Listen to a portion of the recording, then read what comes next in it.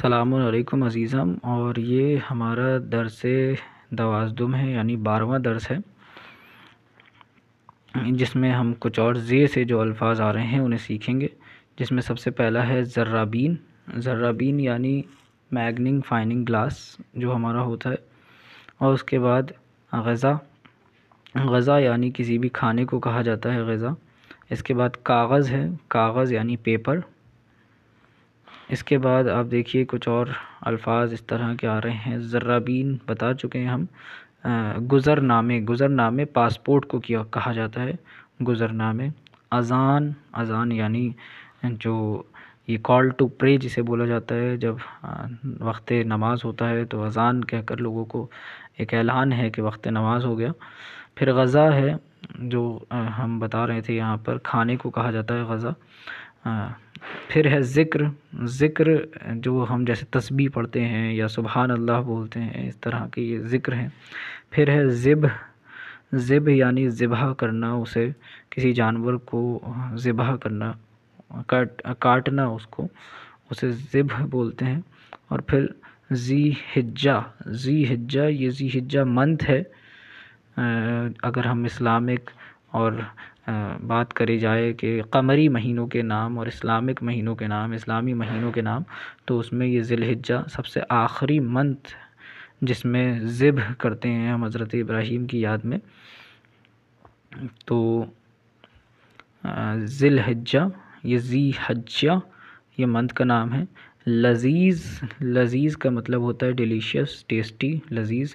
خوش مزے بھی کہا جاتا ہے اور لذیذ بھی کہا جاتا ہے۔ پھر اس کے بعد ہے ضرورت ضرورت یعنی یہ مکہ، یہ بھنٹے۔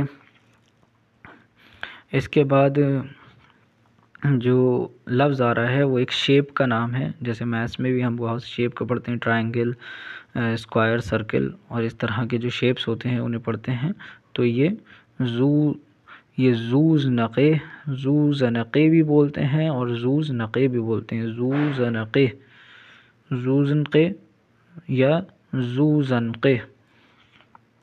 یہ اس شیپ کا نام ہے۔ یہ آپ کو ایسے ہی یاد کر لینا ہے۔ پھر ان کو ہمیں مکمل کرنا ہے۔ یہ جو ہمارے پاس لکھے ہوئے ہیں، ان کو آپ اب یہ مکمل کر دیجیے۔ تو ذرابین ہے یہ جو پہلا والا ہے، پھر اس کے بعد ذکر ہے، پھر گزر نامے ہیں۔ پھر اس کے بعد اگر ہم بات کریں تو اذان ہے، لذیذ ہے اور زو زنقے ہے۔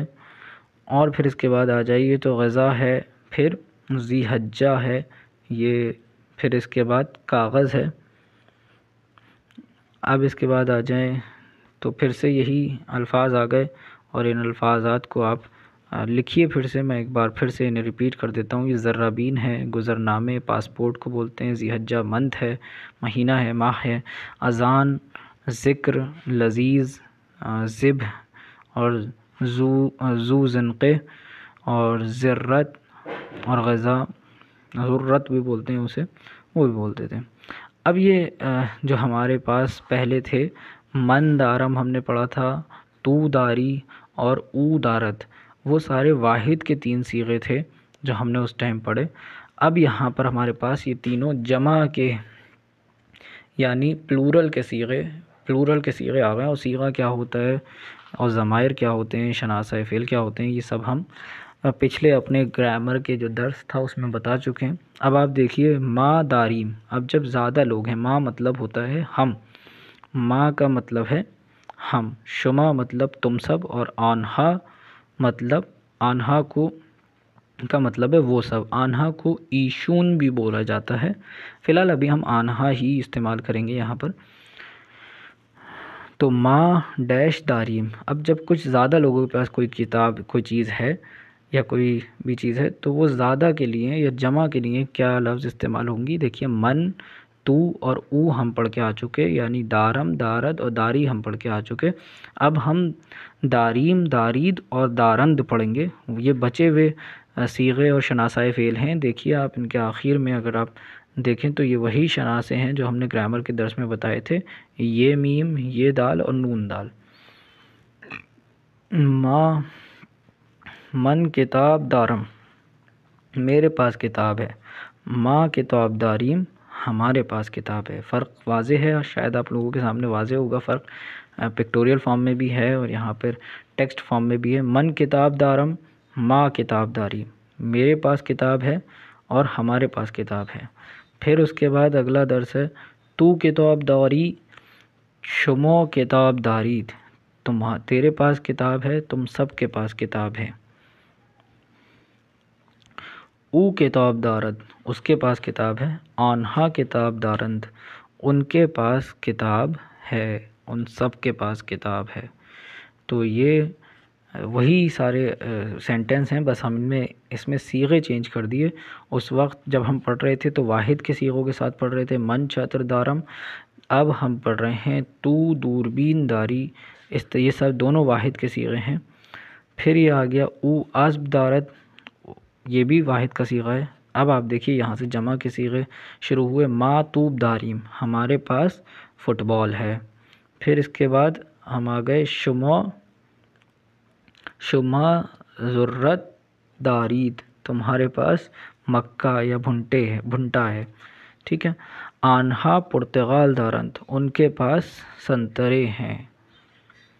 پھر آنہا کتاب دارند، ان کے پاس کتاب ہے۔ ما دوربین داریم، ہمارے پاس کیمرہ ہے۔ اب اس کے بعد آ گئے ہم آگے۔ شما چے دارید۔ اب آپ دیکھیے یہاں پر شما تو کی جو جمع ہے، اس کو ہم استعمال کر رہے ہیں۔ یہاں پہ تو کے بجائے ہم۔ شما چے دارید یعنی تم دونوں کے پاس یا تم سب کے پاس کیا ہے؟ تو کہا جا رہا ہے ما دوربین داریم۔ ہمارے پاس کیمرہ ہے۔ اس کے بعد ہم اور آگے آ جاتے ہیں اور یہاں پہ کہا جا رہا ہے، آنہا چے دارند ان سب کے پاس کیا ہے؟ تو آنہا چاتر دورند ان سب کے پاس چھتری ہے۔ اس کے بعد ہم آگے آ رہے ہیں اور یہ آتا ہے، ما چے داریم ہمارے پاس کیا ہے؟ تو شما ضرورت دارید تمہارے پاس بھنٹے ہے۔ اس کے بعد ہم اگلا سینٹنس دیکھیں۔ آنہا چے دارند ان دونوں کے پاس یا ان سب کے پاس کیا ہے؟ آنہا توب دورند ان کے پاس فٹ بال ہے۔ ایسے ہی گفتگو آگے بڑھے گی۔ یہ دیکھیے آپ، اب یہ صرف پکچرز ہیں۔ تو یہاں پر ہم پکچرز کو اندازہ لگاتے ہیں کہ یہ کیا کہنا چاہ رہا ہے۔ اب دیکھیے شاید اس پکچر میں یہ کہا جا رہا ہے کہ پوچھا جا رہا ہے کہ تمہارے پاس کیا ہے۔ تو ہم کہیں گے تو چے داری ادھر یہ جواب دے رہے ہیں کہ من، یہ ان کے پاس اب سیب ہے شاید یا انار ہے، تو من سیب دورم یا من انار دورم اب اس طرح سے شاید یہاں پر آپ پکچر دیکھیے تو یہ شاید جو گفتگو ہو رہی ہے وہ آپس میں یہ ہو رہی ہے کہ اس کے پاس کیا ہے۔ تو اونچے دارت۔ تو یہ جواب دیا جا رہا ہوگا وہاں پر کہ او چاتر دارت۔ اس کے پاس چھتری ہے اس طرح سے۔ یہ سوال کیا گیا، وہ جواب دیا گیا۔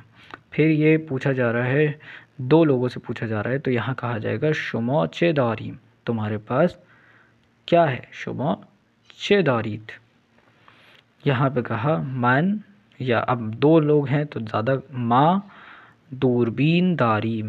ہمارے پاس کیمرہ ہے۔ یہاں پہ ہو سکتا ہے، اب یہ پوچھا جا رہا ہے کہ تو، اس طرح سے یہاں پوچھا جا رہا ہے، تو چے دواری یا یہاں پر اب جمع ہے تو ہم تو چے داری کے بجائے کیا کہیں گے؟ شمو چے دارید آپ کے دونوں کے پاس، آپ سب کے پاس کیا ہے؟ تو یہاں جواب دیا جا رہا ہے کہ ما سیب داریم ہمارے پاس سیب ہے۔ یہ کوشچن ہے اور پھر اس کے بعد اس کے آنسرس ہیں۔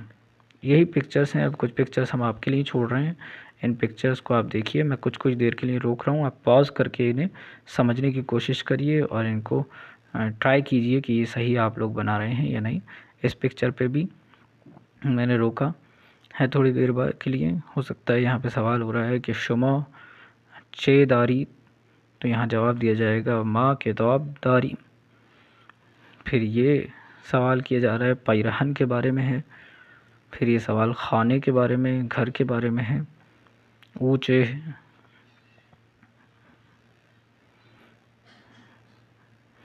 اب یہاں پر با فعل زیر کامل کنیت ان افعال کے ذریعے سے نیچے مکمل کرنا ہے۔ مگر یہ دیکھیے، دارم، داری، دارت، داریم، دارید دارند یہ وہی چھ ہیں جو ہم نے گرامر کے پورشن میں پڑھے تھے۔ مگر یہ جو کام کریں گے، ہم انشاءاللہ اگلے درس میں کریں گے۔ آج کے درس کا وقت تمام ہو چکا ہے۔ السلام علیکم ورحمۃ اللہ۔